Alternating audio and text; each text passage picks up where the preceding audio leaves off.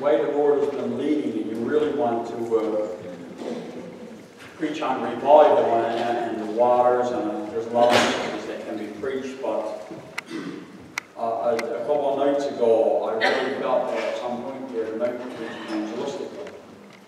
And I was thinking about all that was happening there, and I do have a message, I believe, a timely message coming up very soon uh, with regards to all that's happening. But tonight I do want to preach in this way because I believe that there are people watching, and I believe that there are people that need to hear the gospel message, and I trust in and I believe in the power of the gospel. Amen?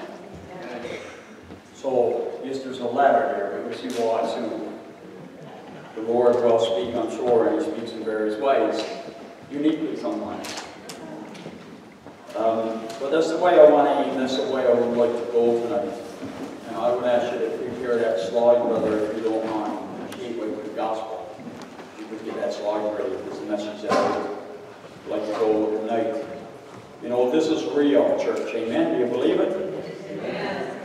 I believe that is real. I know that it's real because He touched my soul and He's touched many of your souls. And, and I've seen this happen so many times when God pours out His Spirit and pours out His Spirit in a mighty way. And for those of you who are watching online, uh, I do apologize that we did have to cut it off. We did want to give more freedom in here. And uh, it's not that we want to cut off services in the middle sometimes. So we don't expect that to be an often thing where we cut the services off. But the Spirit of God has been really moving. And the power of God in this place, uh, even while we're offline, in a very real way, in a very strong way. And God has been moving in a very powerful way because it is true. The gospel is true. Amen? Amen. Believe it, church. Amen? Amen. Has He touched your life? Amen. Do you feel His presence? Hallelujah. Amen. Hallelujah. The Lord is there. I'm going to ask you to turn to Genesis chapter 28. I'm going to read a fairly well-known portion of Scripture. Genesis chapter 28, and I'll give you a moment before we look into this. Preach the gospel message. And let me say already, if you're in your home, if you're somewhere watching online, feel free, of course, that the Lord is going to call you, and He's been calling you. And through the weeks, He's been calling you. And I sense such a presence of the Lord here. To give your heart to the Lord. The Lord is calling you. He's, He's pulling on your heart, and, and He wants to save everyone. And today is the day of salvation. Amen? It says in Genesis chapter 28, starting in verse 1, And Isaac called Jacob and blessed him and charged him and said unto him, Thou shalt not take a wife of the daughters of Canaan. Arise, go through Padan Aram, to the house of Bethuel, thy mother's father, and take thee a wife from thence of the daughters of Laban, thy mother's brother. And God Almighty bless thee, and make thee fruitful, and multiply thee, that thou mayest be a multitude of people, and give thee the blessing of Abraham to thee and to thy seed with thee, that thou mayest inherit the land wherein thou art a stranger, which God gave unto Abraham. And Isaac sent away Jacob, and he went to Padan Aram unto Laban, son of Bethuel, the Syrian, the brother of Rebekah, Jacob's and Esau's mother. Now turn to verse 10. Jacob went out from Beersheba, so where he's on his journey. And says, and went toward Haran, and he lighted upon a certain place, and tarried there all night because the sun was set. And he took up the stones of that place, and put them for his pillows, and lay down in that place to, to sleep. And he dreamed, and this is what he dreamed. It says, Behold a ladder, and it didn't look like this one, trust me. But behold a ladder set up on the earth, and the top of it reached to heaven. And behold, the angels of God ascending and descending on it. And behold, the Lord, the Lord stood above it, and said, I am the Lord God of Abraham thy father, and the God of Isaac. Isaac. So the Lord was on the top of this ladder in the dream. And he went on to say, The land whereon thou liest, to thee will I give it, and to thy seed. And thy seed shall be as the dust of the earth, and thou shalt spread abroad to the west, and to the east, and to the north, and in thee, and in thy seed shall the families of the earth be blessed. Behold, I am with thee, and will keep thee in all places whither thou goest, and will bring thee again into this land, for I will not leave thee until I have done that which I have spoken thee of. And Jacob awaked out of his sleep, and he said, Surely the Lord is in this place, and I know it not. And he was afraid, and said, How dreadful is this place! This is none other but the house of God, and this is the gate of heaven. And Jacob rose up early in the morning, and took the stone that he had put for his pillows, and set it up for a pillar, and poured oil on the top of it. And he called the name of that place Bethel, but the name of that city was called Luz at the first. And Jacob vowed a vow, saying, If God will be with me, and will keep me in this way that I go, and will give me bread to eat, and raiment to put on, so that I come again to my father's house in peace. Then shall the Lord be my God, and the stone which I have set for a pillar shall be God's house. And of all that thou shalt give me, I will surely give the tenth unto thee. Certainly the presence and the glory of God. Amen? I really sense the glory of God. I really sense the presence of God. Very interesting text. Uh, Jacob witnesses this sight. He sees something. And he sees something that he's never seen before. And he has this dream. And in this dream, he sees this ladder that's it says set up on the earth. And it reached into heaven. So connected earth to heaven. And, and he says, This is not only about the house of God. This is the gateway of heaven. This is divine revelation of this ladder, and, and there's a connection between earth and heaven. There's a connection between God and, and what's going on in the earth, and the angels and what's going on in the earth. And I realize that the gospel is found even in this text, you know that? It's found in a very deep way, because there is a gateway, and it's the gospel. Amen? Do you believe that, church? Amen. There is a gateway into heaven. There's a gateway to the throne of God, and, and it's the gospel message. And, and this is what I want to talk to you about tonight. The first point of the message, the first thing that I'd like to point out to you is this. That God is interested, do you believe this, church? God is interested in the affairs of humanity. He saw this. He, he saw this connection. He saw the reality that God was actually interested in what was going on on the earth. He, he saw that God actually had interest in even the sons of men. He saw that God actually had interest, interest in, in the very creation, the ones that He created. And He witnessed it. And I want to move on really quickly in this because it connects. If God is interested, then that means that God is involved. Do you believe that, church?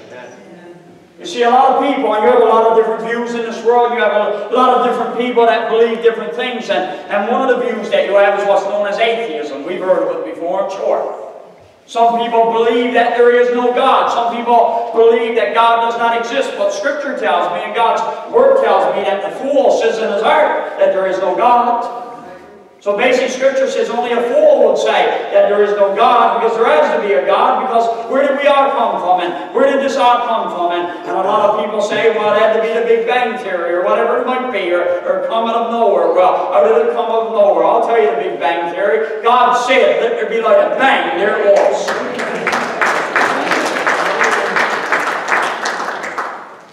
You see, the reality is that God is interested in humanity, he's interested in the affairs of humanity, and he's actually involved in the affairs of humanity. Now, people might believe that God does not exist, but, but, but we have different beliefs and different viewpoints, and, and there are a lot of people that believe other things, and there's other people, not just atheists, but then you have people that have the viewpoint of what's known as a deist. I don't know if you heard of deism before.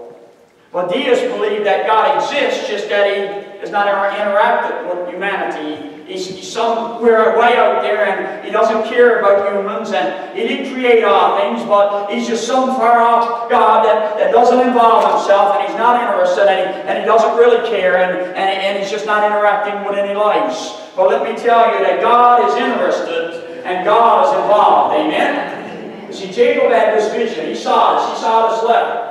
And the ladder was set upon the earth and it reached into the heavens. And we, and we see the reality that God has been and is involved in humanity. He always has been. You believe it, church? Scripture reveals it. Now you're going to ask, how is he involved? Well, God has intervened. That's how he's involved. Do you believe it? God has intervened in many lives. And I want to just lay out some situations where God has intervened. You could go right back into Scripture and you would understand that God has intervened, first of all, and foremost by His angels. And there's such thing as angels. Angels do exist just as demonic spirits exist. There's a spiritual realm which we cannot see with the natural eye. And there's a reality that Satan is reality fights for people's soul to destroy them and cast them into hell for all of eternity. But on the other side, there's the army of God. It was the angels of God. And what Jacob saw was there were angels ascending up and down on this ladder. Now, if you were to go down to Scripture, you will see there were many cases where these angels got involved in people's lives. Like, for instance, if you were to go to Sodom and Gomorrah, you remember what happened there.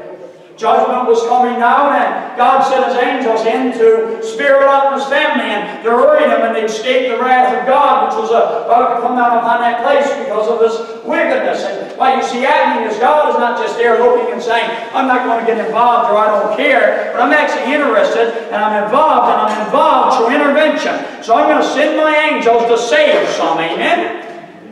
If we were to move on from there, you'll see it happen in Scripture again. You remember when Elijah, Elijah found himself surrounded by the enemy and his servant was with him? And he was there and he looked at his servant had no spiritual insight and, and he stood up and, as they were surrounded, he, he looked at him and he said, you know what, we're done for Elijah. All I see is all the enemy all around us. And Elijah cried, he said, Lord, open his eyes so that he may see what truly is. And when his eyes was open, he looked upon the hills, and what they did he see? He saw chariots of fire all around the enemy. And where the, the enemy had been surrounded, in reality, the enemy was surrounded. Amen. How many of you know that the enemy is surrounded? Amen. Amen. The enemy is surrounded. God got the enemy surrounded. God is never caught off guard. He's the one who's in control. It's the devil who's caught off guard. God is able to do what he wants to do. Amen? He uses his angels. Another situation, and you've seen it in Daniel, the book of Daniel. Daniel was thrown into a lion's den, and, and what happened was there was an angel sent to shut the mouths of the lions. Another case, Daniel prayed, and he prayed, and he prayed, and he And you see what happened? He, he didn't, I don't know if he questioned, uh, maybe he didn't. Daniel was a godly man, but he didn't get an answer to his prayer. But all of a sudden, after about 21 days, there showed up an angel. He said, The prince of Persia withheld me, but, but from the day you set your face to pray, Daniel, your prayer was heard. It was just a withholding that went on. But God always sent an angel. There was an intervention that happened in the lives of men. God used angels to intervene. And to go on from there, you were to come through the life of Mary. You would understand that Mary was this young girl that was just out there living her life, and what happened was an angel appeared unto her and intervened in her life. And she, this angel said to Mary that the Holy Spirit's going to come upon you, and you're going to give birth to a son, and you're going to call his name Jesus. There was an intervention in Mary's life. God sent an angel, and he was interested, and he was taking action. Amen? Now, I could go on from there with the angels, but let me move on to something a bit more. If God intervenes with angels, just as Jacob saw angels ascending and descending on that ladder, then I would go so far as saying that was God intervening using the agents that he wanted to use, but I would go so far as say that God intervenes himself personally. Amen? See, if you were to go back in the Old Testament, you would see it again. You were to go to the Tower of Babel, you would understand that mankind, that they could exalt itself above God and reach out to the heavens. This was after the flood, so he builds this tower that reaches out, tries to reach out to the heavens. In essence, what they were doing was they're saying, we're going to build a tower that's going to escape any future judgment that's going to come upon us. It's going to go to the heavens. So if the waters ever come down like it comes down and came down again, then, then it won't drown us. We won't be taken by surprise. And God looked down and saw that they were doing it. He intervened in the situation and he confused them and separated them. You see, God is interested and he's active in the affairs of humanity. The three little Hebrew children, we know the story. They were cast into the fiery furnace.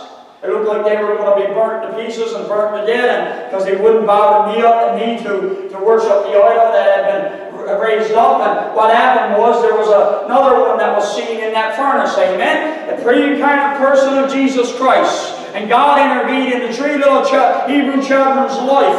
And what he did was he, he saved them from the fire to the point that they didn't even smell like smoke. And not one ear on their heads was burned. Amen?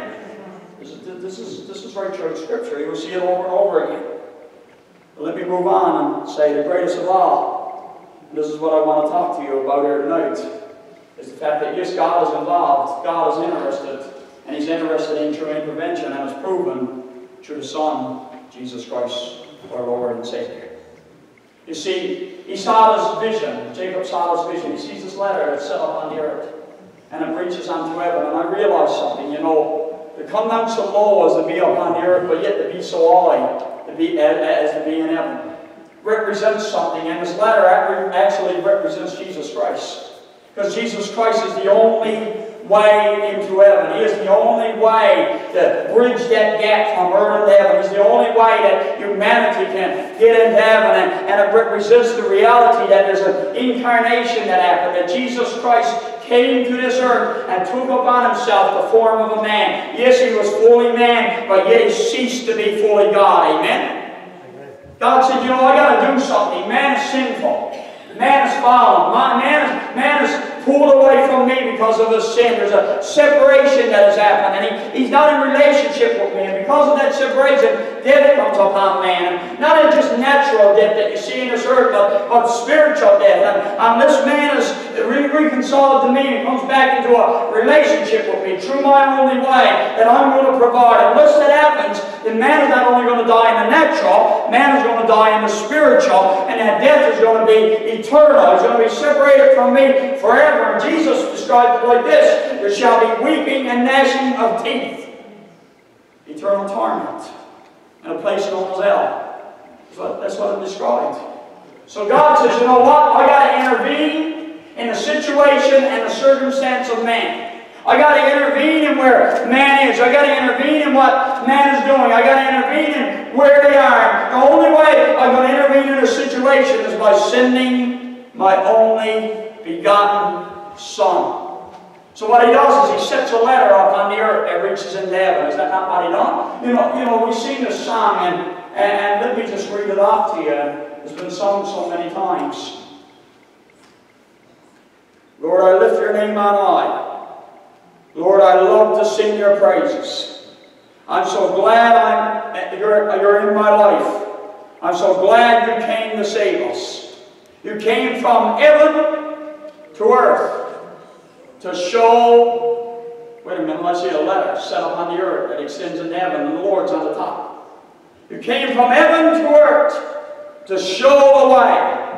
From the earth to the cross, my debt to pay. From the cross to the grave, from the grave to the sky. Lord, I lift your name on high. This is the gospel message, church. This is what it is. That God is interested and He intervened for the situation of man. Because when Jesus came, He died upon that cross and He died to take the sins of the old world upon Himself so that whosoever believeth in Him shall not perish but shall have everlasting life. It's the simplicity of the gospel and it still works. Amen the reason why we're feeling the glory and sensing the presence of God, and I feel the glory of God every night, I can really do. it. You know the reason why we feel the glory of God? Because God intervened in our situation. God intervened in our life, and He intervened through Jesus Christ, our, our Lord and Savior. what you see happening is Jesus being in the heavens, being on the top of that ladder, being on the throne of heaven, when he came down, he actually humbled himself, Scripture says, and he became the form of a man. So now he's highly exalted above all, because the sacrifice was accepted for your sins. Take this for the record. We're all in sin. We're all separated from God. But Jesus Christ died so that you can come back into communion with God. And the only way, the only way you can get back in relationship with God is through His Son, Jesus Christ. It is the only way. Jacob saw this, he was seeing a little bit more than a dream. He was seeing a revelation. He was seeing divine insight in the fact that God is involved in intervening in the situations and the lives of people. Now, if that's the case, then God is intervening in our situations even today. Do you believe that, church? You know, when people get saved, you know what's happening? God is coming down to meet them right where they are, isn't it? The Spirit is moving upon them right where they are. God is meeting them in their situation because He sees where they are. I don't know where you find yourself. You might find yourself in the lowest of the low and in the toughest of the toughest. You might find yourself in the worst possible, possible spot that you can find yourself. You might find yourself in your home is wrecked and your marriage is wrecked and your, your children is all gone in some situation and you find yourself in the drugs and alcohol and down about as far as you can go. But I know one who's interested in where you are and involved in where you are, and He wants to intervene where you are. And He has intervened through Jesus Christ, His Son. That's what He has done. And no matter where you find yourself, if you will just simply allow Him, that's all. You don't have to work it out first. You don't have to get it all straight first. You don't have to get it all in place first. Jesus is just calling and calling and calling and calling and calling. See, church, I just feels like preaching the gospel tonight. That's the way I feel. I just feels like preaching Jesus Christ. This is the only thing that's going to work is Jesus. And He is the light. Let's preach Jesus. Let's preach salvation. Let's preach the glory of God. It works. Jesus saves. We sing it, don't we? Jesus saves. Yes, He does. He made you something new. Cleanse the sin that was. I'm going to change the words, don't matter. It's all the same thing, glory to God. He'll change your heart. He'll reverse your soul. He'll give you life. And He'll make you new. Hallelujah. That's what Jesus does. For His glory to come upon you. And He'll never be the same again. This is Jesus I know. And it's real, amen. It's real, it's real.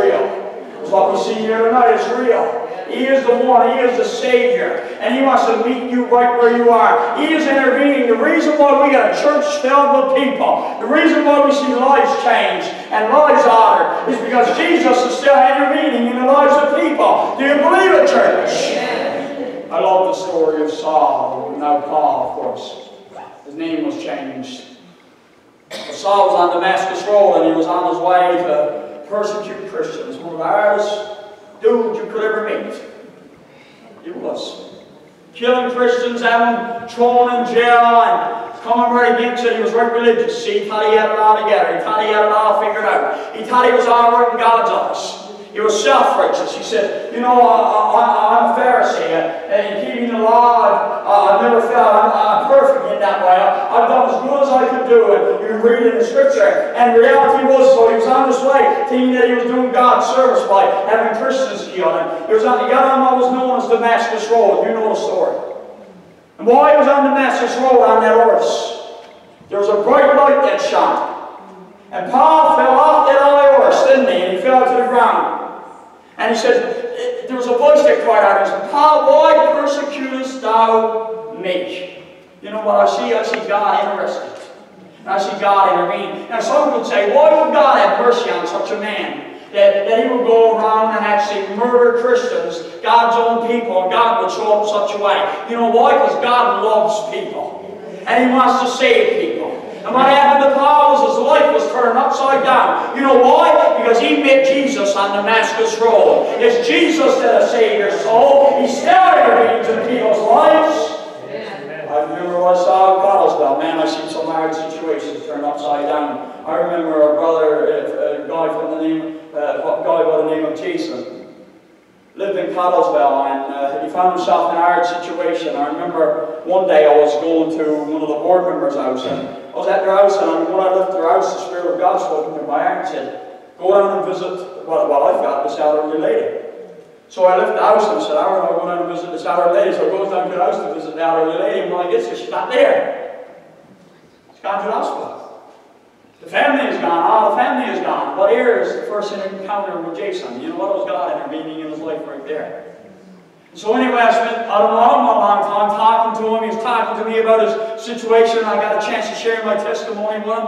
Time went on, and he didn't give to the Lord there, but then he found himself in a situation. And, and Jason, you see, he testified this, was, was hooked on uh, things like cocaine. He was involved in gambling, and his life was in a mess. His was basically being destroyed. He had a young boy, he had, he had a wife, and, and he also had a newborn baby on the way, just a little girl. And basically everything was being completely destroyed and, and torn away from him, and all because of his addiction and the things that he found himself in.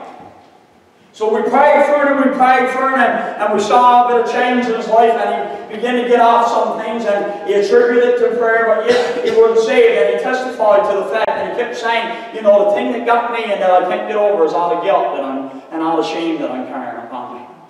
All that I've done wrong and all the ways that I went, even though he wasn't saved, I'm carrying this load of guilt, Pastor used to say. This overwhelming weight of guilt is upon my shoulders. And I'll never forget the night that he come into that church in Cottlesville during the revival. And he walked through that altar and gave his life to the Lord. And what he got and testified was this. He wouldn't only deliver from the cocaine. He wouldn't only deliver from all the drugs. He, he wouldn't only deliver from all situations. The Lord had not only healed situations in his life, but the testimony was this. is one of the greatest testimonies you could have. He said, Pastor, I don't feel any guilt or any shame anymore. It's like it's all gone. I'm a new man. I'm a new creature. The Lord has taken it all away.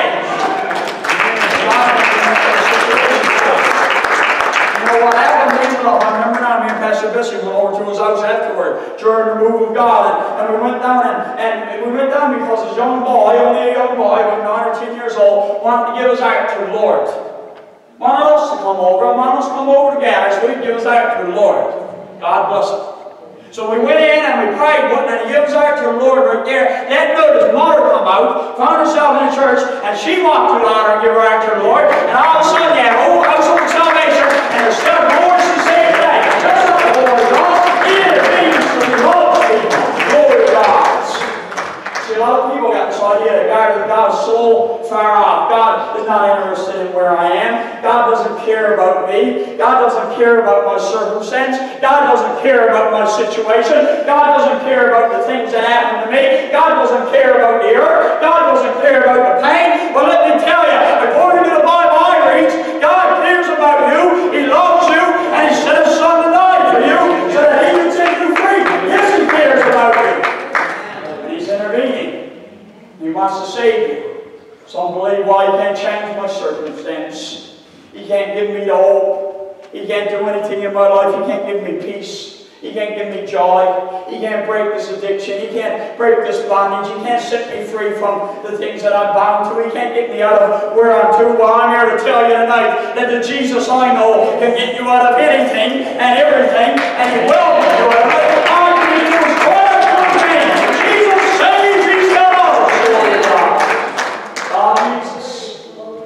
Jesus. He's intervening in the affairs of humanity. I don't mind testifying. I know some of you heard that You probably say, but I was testifying. So I know what God done in my life. That little house Canal. A drug addict addicted to drugs. In a state, owed about $10,000. Didn't know what I was going to do. All kinds of situations. I had people come at me, a lot of people don't know this. I had people come at me with bats and iron rods That's the situation that I was in. I remember crawling around this town, frightened death. I meet up with certain people. That's the past that I had. That's the iron life that I lived. I remember eating drugs in the morning and in the night and barely eating a meal all day long. But there was a God in the heavens who saw where I was to, and He came down in the midst. And the Spirit came upon me, and He changed my life. And I'm never going to say again, Give God everything before the God. Doesn't matter where you're to. Doesn't matter how far down you are. Yes, for you. We want you to come out of it. But I say it doesn't matter in the situation and the circumstance and the idealism of that, that we know that there's a God that's able to take you out of it and wants to take you out of it. All you need to do is put your hand in His and trust Him, and He'll deliver you, and He'll save you, and He'll set you free. You just got to run to Him, glory to God. That's it. Oh, you can feel it in this place, church. You feel, I, I like to go across the wavelengths, right across the world, that's true. Jesus saves, Jesus saves. He is the ladder that reached down from heaven to earth, and is set upon the earth, and it reaches up into the heaven. And when you look up, you see the Lord high and lifted up. Paul saw Jesus set at the right hand of the Father. He saw the Jesus that was there in the heavens, and accepted work. And I'm telling you now, it's only Jesus, Jesus only. There's no other set from earth to heaven that you can get to God through. It's only through Jesus. It's not your Buddha, it's not your Muhammad, it's not your Confucianism, it's not your anything else, but Jesus only, because it's God's way. Hallelujah. Hallelujah. Worship Jesus. Hallelujah. We sing the song over I worship only at the feet of Jesus. Oh, glory to God. Everything else will fail you. Everything else will let you down. Trust in your bank account. You can put your trust. You know, what we got a lot of people that's trying to climb a lot of ladders in this world. You know that? We got a lot of people. Oh, this stay strong besides that. You would not a strong way without with this now. But you're going to try to climb this world just on a financial ladder is going to break at some point in time. You can only go so far on a financial ladder. You can only go so far on the corporate ladder. We have a lot of people trying to climb the corporate ladder, they call it, don't we? Trying to see how high you can get. You know, it's all temporal. But there's a ladder that's not just temporal, it's eternal, amen? There's a ladder set in the earth that goes into the heavens, it grants eternal life. Yes. And that ladder is Jesus Christ. Amen. Let me move on to the final point of this message. We're going fastest message ever preached in our life. He's saying hallelujah again. No wonder there's excitement here tonight. I'm. God is inviting all of humanity to come to the bottom of the ladder and look up. He said, I saw the Lord on the top, he said. I looked up and I saw something. Jacob saw this and he realized there were angels that were ascending and descending on this ladder that, that reached into heaven. And the call of God is this to all of humanity to come and humble yourselves. What do you have to do? You have to get it all right. No, as the Spirit of God moves upon you and pulls upon you, and there's people that feel the pull of the Spirit and they don't even understand what's going on in them. They don't understand why their heart is beating. They don't know the way that it is. They don't understand that there's this pull, there's this feeling of conviction where God is calling them to be saved. Where God is calling them to be saved because He's inviting all of humanity, each and every one, to come to the ladder. But when you come to the ladder, the first thing you need to do, and Jesus set the example, the scripture says that He humbled Himself and took upon Himself the form of a man. So He came to earth, didn't He? The only way that you can come to this ladder is you need to take the first step. There's only one step to salvation, is repent and believe. And in order to repent and believe, you've got to bow your knee to Jesus. You know that? You've got to grab hold to the first rock. You've got to say, Lord, I'm a sinner. I'm separated from you. All I ask, God, is that you would forgive me. I believe that you sent your Son, Father, to die upon that cross, and He died for my sins and that He rose from the grave and He ascended into heaven. I believe He's coming back again, God, and I trust in you that He is sufficient to bring me back into a relationship with you, Father. This is the way. It's only to cry out the name of Jesus, to cry out to God and realize that you're in a position that you cannot get to heaven, not by good works, not by any other way. You can climb what ladders you want. The only way to get into heaven is to come and humble yourself and tread upon that first step. It's the only way. You can't step over it. You can't get up any other way. The only way to get up there is to humble yourself before God and to cry unto the name of Jesus, realizing your situation and your circumstance, and say, Lord, nothing in my hands I bring. Simply to the cross I bring. Save me, Jesus. I'm a sinner. I need salvation. Cry out to Him, and He'll answer your cry. He'll save your soul. He'll deliver you from where you are. Yes, He you right where you are, no matter where you are, no matter what situation. He'll answer your prayer. That's what He'll do. You know what happens then is a process. People try to get ahead. See, people think that you got to come and you got to be on the top before it comes to the bottom. But all you got to do is cry out to Jesus, and all of a sudden something happens in your heart. Well, I cried out to Jesus, and He got a hold of my life, and all of a sudden I'm on my way to Glory Road. Hallelujah! Hallelujah. Is that what happens? All of a sudden, you're getting exalted to the heavenlies, aren't you? All of a sudden, something's happening. Because the moment you cry out to Jesus, you're going to step right away, and He justifies you by faith. He looks at you and He says, I don't see your sin no more. I see my Son Jesus. Therefore, you're set free to worship. You're set free to, to, to go and, and praise my name and pray to me. Then what happens, of course, at the same time is what's known as regeneration. He changes heart. And at the same time is sanctification. And over time you become more and more and more like Jesus. Oh, glory to God. And one day, just because at one time you humbled yourself, you didn't have to climb the ladder yourself. God got all of your life. And at one day you'll find yourself on the top of the ladder, glorified bodies. Hallelujah. Saved and changed and delivered and set free. No longer walking in the world. Glory to God. I can stay up there. You up there. Hallelujah. Tell them mind up on heavenly things and not on earth. Glory to God.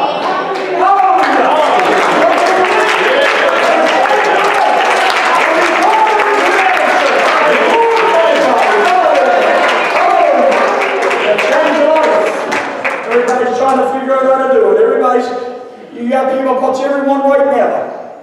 He ends up in the grave, and all of a sudden he's exhausted. He's just pop right up the ladder, just like that. No, no, no, no, no. You got to come to the first step, and you got to repent of your sin. You got to humble yourself before God. You got to cry out to Him, and then He'll come into your heart change your life. And the rest, oh glory to God. The rest in His hands. You will find yourself in the heavenly glories one of these days. All because you've come to the first step.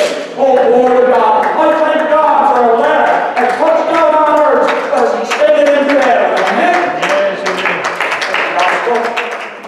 There's a gateway, church. There's a way to God. There's a way to get there.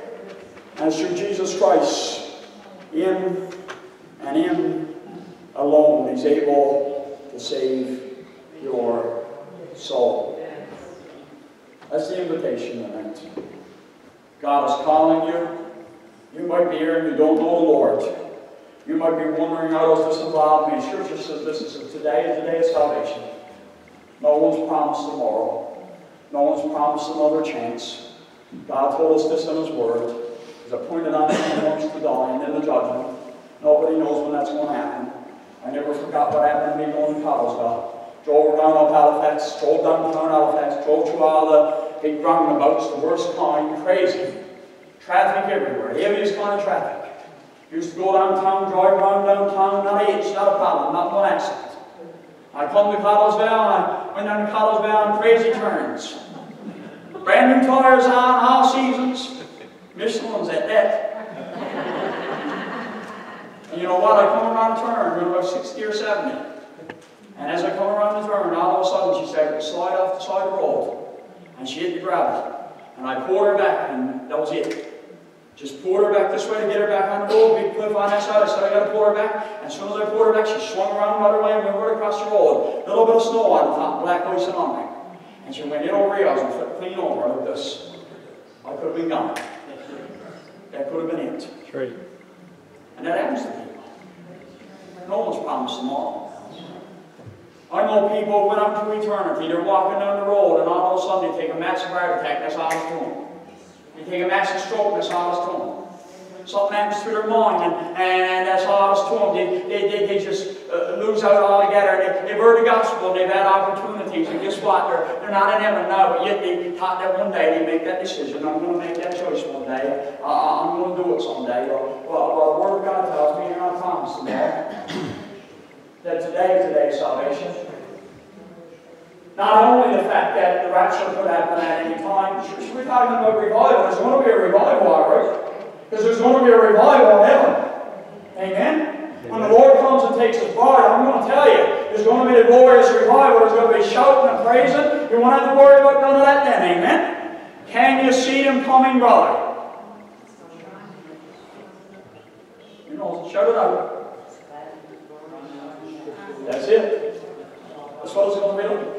There's going to be a revival. There's going to be a mighty move of God. I believe there's going to be a revival there. I'm not saying that to counteract anything. But in the midst of all of that, we know that the Lord could return at any time. That's what we preach. That's what we believe. I believe in the imminent return of Jesus Christ. That one day, all of a sudden, we're going to find ourselves at the top of the ladder in the twinkling of an eye in an. Amen? You yourself believe that, church? Amen? See, no one's promised tomorrow. No one's guaranteed that there's a, another time that you can make a commitment to Christ. No one's guaranteed this. And the, and the God's Spirit is to invite people to come, bow the knee, and give their hearts to Jesus, and be saved, and experience the best thing this life and beyond could ever offer. Let me end by saying this. I said it during the revival meetings there many times. If I were to have two contracts, and let me put this out before you, I we so run for natural things, but in the spiritual, you know, we need to hear what the Spirit says. Amen? If I were to lay out two contracts right now on this altar, and for everybody out there online listening, and for anybody here listening, if I were to lay two contracts on this altar right now, one contract said that you come and you sign your name to this contract, and you get a million dollars instantly, and you knew it was true, and you were going to get it, guess what? You would run and you would sign your name in an heartbeat. Am I right? If The other contract said if you sign that one, then you're going to lose everything. Everything's going to be taken from you. You're never going to get nothing back if you sign this other contract. But you sign this other one, and you get a million dollars. You'll be gone. Which one you sign? There's not one person who would say that you signed the one where you lose everything. You signed the one for a million dollars. I bet you. I'm right. I know. That's in the natural. That's in the natural. Well, right now there's two contracts laid out. One is for eternal glory and eternal life in the presence of God for all of eternity through His Son Jesus Christ. The best life you could ever live, no regrets. I got no regrets in giving my heart to the Lord. He took me from darkness and put me in the light. He took me from death and put me in the life. That's what he did. He took me off a road going a wrong path down towards hell and put me on a road a happy way to heaven. Going to be in glory with him. That's what he done. I got no regrets, none at all. What I set before us is two ways, two choices, two chances. Which are you going to take? Is one or the other? Are you going to take and sign a contract where you're going to have eternal glory? Are you going to give your life to Jesus? Or are you going to reject it? Or are you going to say no to it? Say, you know what? I don't want none of this. I'm going to sign another contract. I understand another contract leads to death. Because the wages of sin is death. That's what Scripture says. It's what we get. Jesus paid the price. Amen? I'm going to ask the musicians to return. We are going to take a moment to do an altar call in this place. And I don't know, church, there's some way to forward in this place. There's a point where I'm not saying, but there's a point there where I felt I was going to go to the ground. I really did. The power of God in this place. All we got to do is jump in sit down. All we got to do is jump in. The Lord has spoken quite clearly. And there's a move of the Spirit. There's a real move of the Spirit.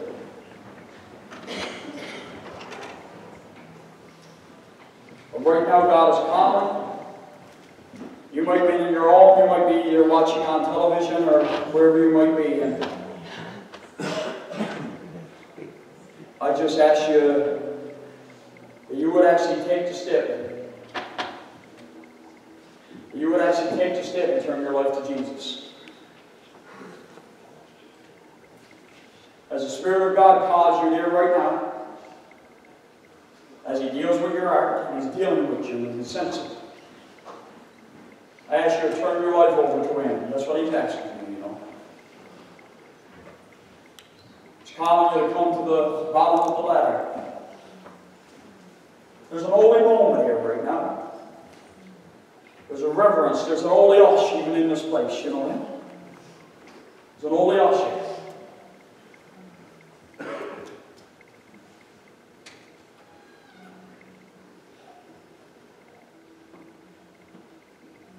Understand that the Lord is high and lifted up, and there's none above him. He'll save your soul and he'll deliver you. Hear the voice of the Spirit. Come on to him, he'll save you, he'll deliver you. He'll set you free. Musicians are going to lead us, Sherry and Marilyn as well, going to lead us in a number at this time. As they lead us in a number, this hour is open. You might be in your own, you might feel to get up and come on into this place. You know, there's a tide flowing. I want to speak about this again sometime very soon. There's a tide flowing. So I know the Lord has been dropped something real deep into my heart, and I haven't shared it yet, but I got to share it. As a message. And uh, there's going to be more of a declaration. And it's what the Spirit of God is saying. But the voice of the Spirit. is a tide flowing. There's a tide that's pulling you that wants you to come to this hour. It wants you to give your life to Him. You're, you're in your own, you're in some situation, you don't know how you're going to get past or through, or the mountain seems too big, and the Spirit of God is saying, you know what, I see you where you are, I, I know where you are, and I'm able to deliver you. He's calling you, you can sense it, you can sense the anointing, you can sense the Spirit of God upon you. So as they sing this song, maybe you want to make your way to this church, you want to come on into this building.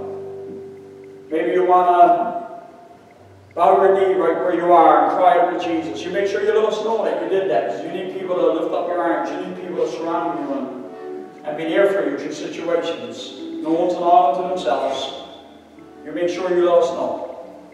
God will do a work in your life if you surrender to Him. Run that's if we could sing a couple songs at this time. An invitation song, a song to invite. If you want to ask Jesus into your heart, Nothing more I'd like to see than someone come on into those doors. People that's here want to come to the side. Nothing more I want to see than people be saved. Amen? That's what it's all about. As glorious as the time was, and I think we're in for a glorious time. I think we're starting for a glorious time here tonight, according to what I here. Yes, amen. I really do. I want to see people saved. And that's the cry of the Spirit. Amen. The ladder set up on the earth. You know, I just I just thought about it. You ever see those just before we sing, you ever see those situations or shows or whatever? I don't know if you ever watch them. It might be a bit funny to say I don't know if it's the right time or not. Remember the movie Home Alone? I don't know if you went up in the attic at some point or not. You remember those old ladders you used to be able to pull them up? The ladder's set up on the earth now. But there's a point in time where the ladder's only pulled up. Right now is extended the hand of God and His mercy. And is extended right down to earth through His Son Jesus Christ. But there's coming a time when that hand is going to be pulled away. And there's going to be no way to get in. The Scripture tells us that. It is a serious thing. It really is. I'm going to ask